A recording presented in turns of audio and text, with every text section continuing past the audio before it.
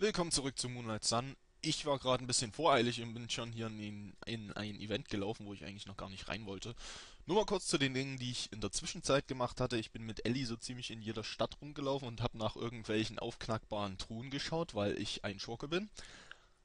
Ähm, die Truhe Portant habe ich aufgemacht, wofür man Celia braucht. Da war eine Essence für Liuri drin und äh, wo es noch was Wichtiges? Äh, ah ja, genau, im Gutshaus der Jägerin hinten im, äh, im Hinterraum. Da findet man auch nochmal Yoko plus, äh, ich glaube, ein bisschen Gold- und Silberstaub. So, danach äh, habe ich äh, Karasuma in der Arena getroffen und Tenma in Q, wenn mich nicht alles täuscht. Ich glaube, man muss sie auch in der Reihenfolge finden, weil ich kann mich nicht dran erinnern, dass Tenma vorher da schon stand. So, und dann sind wir wieder zurück im Gasthaus von Taiko, wo wir sie ja hingeschickt haben. Und damit geht's weiter. Tenma. Karasuma. Hey, ignoriere mich nicht. Du musst weiter Manga zeichnen, Harima. Aber der einzige Grund, dass ich Manga gezeichnet habe, ist Tenma. Ich das könnte eine Weile dauern. Vielen Dank für eure Hilfe. Hier, nehmt das als Dankeschön. Way! Eine Scherbe des Sonnenspiegels. Yippie. Kraft. Hm, nett. Jetzt habe ich drei davon. Sehr schön. Silphido. Was auch immer das ist. Windsichel 3, okay.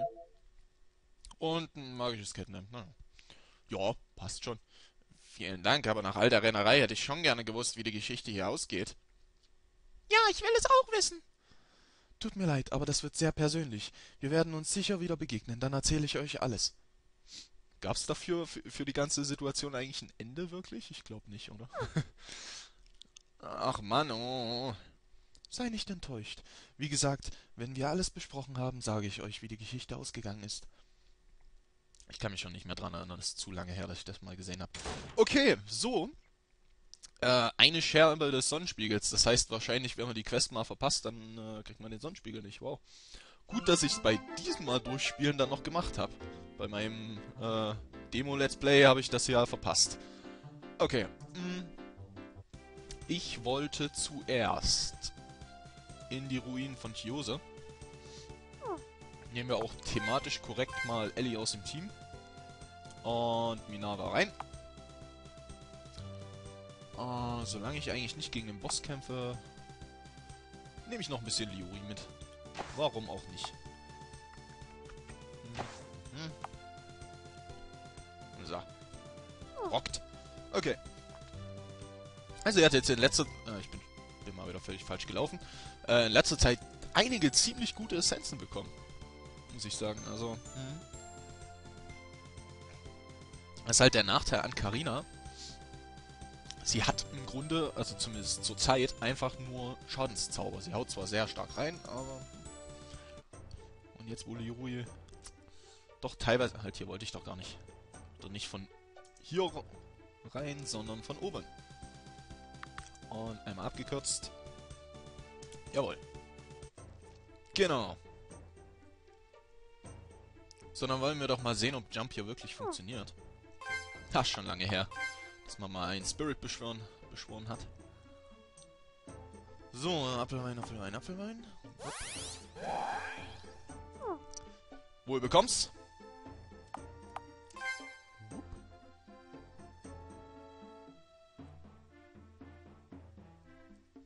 Ich beschwöre lieber Jump, ich habe keine Lust dort hinunterzufallen. Ne, das wollen wir bestimmt alle nicht. Hm, was auch immer das ist. Ist bestimmt noch schlimmer, als in den Energiestrom zu fallen. Das haben wir ja schon hinter uns. Mehrfach. Endlich, ich habe schon so lange nichts mehr außerhalb des Kampfes beschwören können. Mhm.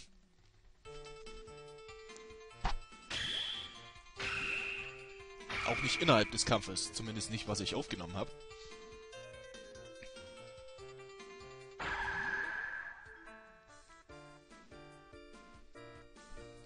Denn innerhalb wäre es ja eine pinke Katze mit roten Pupillen und ihre drei Schwänze sind mit Klebeband zusammengeklebt. Ja, fantastisch.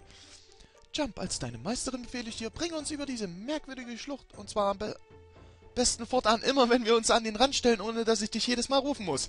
Danke, dass du mitdenkst. Please. Auf geht's. Joink. Super, jetzt können wir uns hier umsehen. Mhm. Ja, das können wir. Wupp, wupp, wupp. Okay, Jump, gute Arbeit geleistet.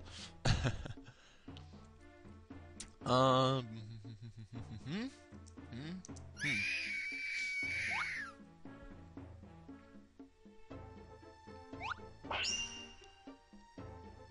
Ach, schau einer an, die Kleine ist auch noch da. Renola? Minava, du bist also gekommen! Was ist hier los, diese Schreie und all das Feuer? Es ist das große Feuer der Göttin. Sie verbrannte uns darin als Strafe für das Verbrechen, euch Kinder beschützt zu haben. Ja, das ist ja auch so böse, Kinder zu beschützen. Die würde ich auch sofort alle verbrennen. Gehört sich einfach nicht. Aber das ist ja grausam. Nein, das ist vollkommen richtig so. Grausam ist das, was einige Brüder und Schwestern taten. Was meinst du? Es gab Angehörige des Göttervolkes, welche die Schuld, nicht perfekt zu sein, allein auf die Eltern und Kinder schob, denn nur diese sind in die Ungunst der Götter geraten. Oh. Mhm. Als sie dann letztlich völlig die Beherrschung verlor und unser Volk nahezu auslöschte, manifestierten sich diese bösartigen Gedanken der kinderlosen Angehörigen des Göttervolkes in einem grausamen Monster. Ein Monster? Ja, wir nennen es nur das große Feuer. Und man muss es so betonen, ansonsten... Das große Feuer. Exakt. Immer wenn unsere Seelen nahezu vollständig verbrannt ist und droht zu erlischen, so dass wir endlich erlöst werden würden, kommt diese Bestie zu uns, um uns erneut in Flammen aufgehen zu lassen. Dann sind die Schreie, die wir seither von den Ruinen aus hören können, also Richtig, Karina, es sind die Schreie unserer gefallenen Brüder und Schwestern, wenn ihre Seelen erneut in Brand gesteckt werden. Aber das ist ja grauenhaft, wir müssen etwas dagegen tun. Jawohl. Colette, bist du das? Nein, ich sehe nur so aus. Äh, sie verwechselt mich.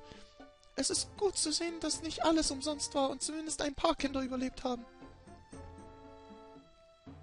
Dein Gesicht, du hast Schmerzen. Können wir nichts tun? Wenn das Feuer gelöscht werden könnte, könnten unsere Seelen entfliehen. Hm. Wie wär's mit dem, ähm, mit dem Wasser, was wir letztens geholt haben? Das wird nicht klappen. Dann bitten wir Celia Watery zu beschwören und normales Wasser funktioniert nicht, sonst hätte der Regen schon lange unser Problem gelöst. Dann suchen wir nach einem anderen Weg, euch zu helfen. Bitte, ist das okay? Natürlich, Envy. Wir werden etwas finden, womit wir euch von diesem Feuer befreien können. Vielen Dank. Ich hatte die Hoffnung schon aufgegeben, irgendwann erlöst zu werden. Dieses Mädchen, Envy, habe ich sie schon mal gesehen? Ist sie nicht auch? Was, ein Kind des Göttervolkes? Nein! Nein, nein, nein, nein, nein, nein, nein. So, ich gehe mal stark davon aus, dass wir das schon löschen können. Ah? Oder? Oder, oder? Enola, lass uns versuchen, die Flamme mit diesem Wasser zu löschen. Ich spüre viel Magie von dieser Wasserflasche ausgehen. Was ist das für Wasser? Sprite. es ist Amira-Quellwasser. Laut den Leuten in Naruk soll es jede Art von Feuer löschen können. Na, mal sehen, ob das keine äh, irreführende Werbung ist. Verstehe. Dann lasst es uns versuchen. Und... Weg ist sie. So, jetzt haben wir die ganze Flasche aufgebraucht. Hm, Würde ich sagen, müssen wir Neues holen, ha? Die Flamme ist weg. Hat es funktioniert? Das ist nach all der Zeit bin ich tatsächlich frei. Und tschüss. Sie ist verschwunden. Scheint funktioniert zu haben. Ich bin frei. Danke, ich danke euch. Doch bitte, es gibt noch mehr von uns. Bitte erlöst doch meine Brüder und Schwestern. Ah, muss ich dann nochmal komplett durch das Ganze... Oh, könnte ich machen. Man sollte theoretisch eh von oben in den, in den alten Teil der Ruinen reinkommen. Mal sehen. Wir werden ihnen helfen. Minerva, danke. Sei stark und hüte dich vor dem Feuer. Äh, gruselig. Gehen wir. Hm, okay. So, Jungs, euch ignorieren wir mal. Hahaha.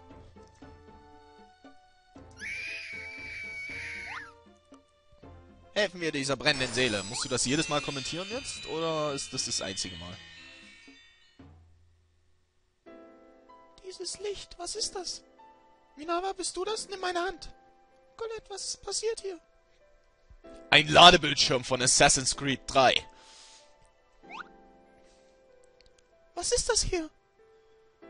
Seid ihr diejenigen, die endlich meine brennende Seele von dem Feuer der Göttin befreit haben? Nein, das war eigentlich Carlas, der dich, der dich mit Wasser bespritzt hat. das, das ist du, du unseliges Kind! Hey, nicht Colette beleidigen, ja? Meinst du mich? Nein. Wie kannst du es wagen, mir unter die Augen zu kommen? Du, die du uns hast alle in den Tod getrieben. Jetzt halt mal die Luft an, oder wir lassen dich weiterbrutzeln. Was sollen diese grundlosen Anschuldigungen gegen Minava? Mein Bewusstsein schwindet, wie ironisch, vom Feuer befreit, welches ihr uneinigen Kinder selbst entfacht habt.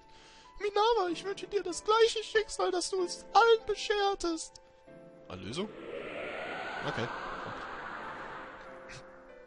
Aber Mabi, ich, ich bin doch nicht das einzige Kind des Göttervolkes. Also warum nur ich? Weil du, äh, was? Weil du ein besonderes Kind bist. Direkt das Kind der Göttin oder sowas? Hey, schaut mal, sie werden schwächer. Kann das sein? Werden sie durchsichtiger? Helfen wir der brennenden Seele. Wusch.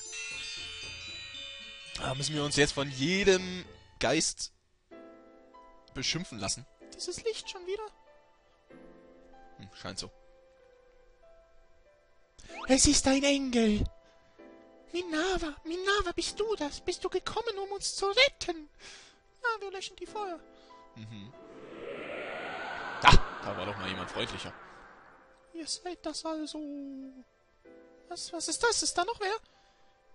Ihr seid diejenigen, die die Flammen der sündigen Seele löschen und so dem Feuer die Kraft nehmt. Dem Feuer bist du etwa? Ich bin das große Feuer, und ich werde auch eure Seelen verbrennen, wenn ihr nicht sofort verschwindet und dieses schreckliche Wasser mit durchnehmt. Nein, niemals, wir müssen diesen armen Seelen helfen. Wie ihr wünscht, wie ironisch, dass gerade ihr euch für diese wertlosen Kreaturen einsetzt, Colette. Tja, was muss, das muss, nicht wahr? So, äh, hm, hm, hm, hm. Gehen wir einfach mal hier lang. Undurchdringbare Barriere. Ist es wieder eine Elfenbarriere? Scheint aber eine Barriere zu sein, ob wir jetzt schon hindurchkommen. Wahrscheinlich nicht, ja. Helfen wir dieser brennenden Seele.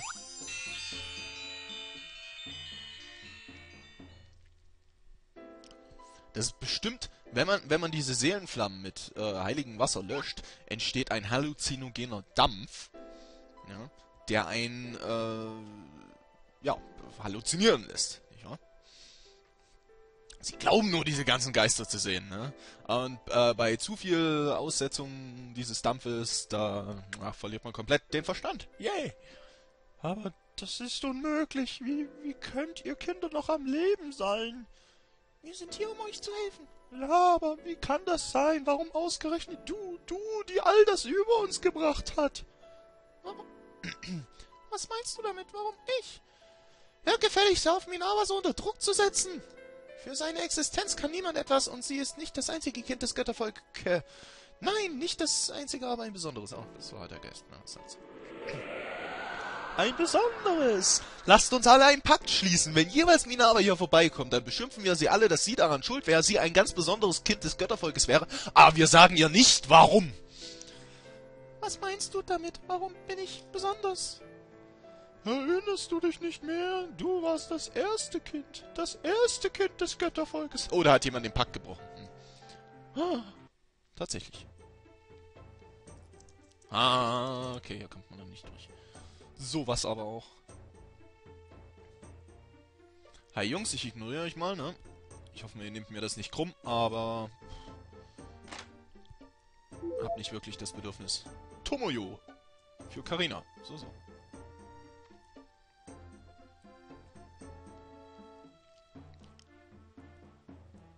Hier geht's tatsächlich... Aha, jetzt sind wir hier. Okay. Helfen wir dieser brennenden Seele. Mich interessiert mal, ob die äh, durchsichtigen Kerle da andere sind als hm, die sichtbaren. Oder ob das nur, keine Ahnung, Special Effekt. Aber das ist ja ein Kind. Minerva, Minerva, ich wusste, du würdest eines Tages wiederkommen und mir helfen. Oh, kennen wir uns? Natürlich kennen wir uns. Ich bin's, Sully, der Bruder von Halli und Galli. Erinnerst du dich nicht mehr? Hm. Hm. ah, äh, äh, was? Zilla? Achso, äh, das ist seine Schwester dann wahrscheinlich. Und Zilla. Wir haben eigentlich das Spiel Zilla Zalli entwickelt und Halli und Galli haben uns die Idee geklaut. Richtig. Los, komm endlich, Minaba. Wir haben eine riesige Blumenwiese entdeckt. Das musst du dir ansehen. Hey, das klingt ja super. Nichts wie hin. Ja, seid ihr nicht schon dort? Nanu, wer ist das denn? Ups.